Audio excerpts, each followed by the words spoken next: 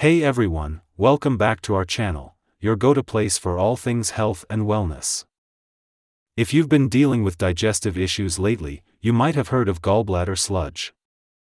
In today's video, we're diving deep into what it is and how to treat it. So, make sure to stick around until the end and don't forget to hit that subscribe button.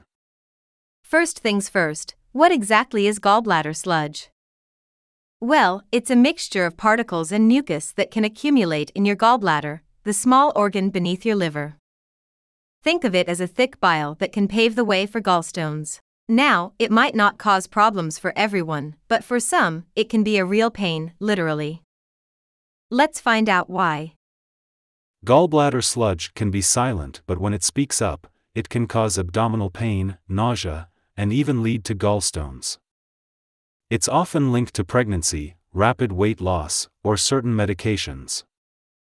But the good news? It can sometimes resolve without treatment. If you're experiencing symptoms, it's essential to get checked out by a healthcare provider. They might suggest an ultrasound to see what's going on in there. And based on what they find, you'll discuss treatment options. Treating gallbladder sludge is personalized, but here are the common routes doctors might suggest. Observation is key if you're not symptomatic. Your body might clear the sludge on its own. Dietary adjustments are your first line of defense. A low fat, high fiber diet can do wonders. Medications like ursodeoxycholic acid can dissolve smaller particles of sludge.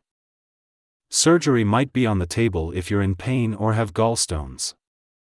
Managing associated conditions, like diabetes, is also crucial. And remember, lifestyle changes like regular exercise and avoiding crash diets are your gallbladder's best friends. Let's get into some details about diet and lifestyle. You want to aim for balance.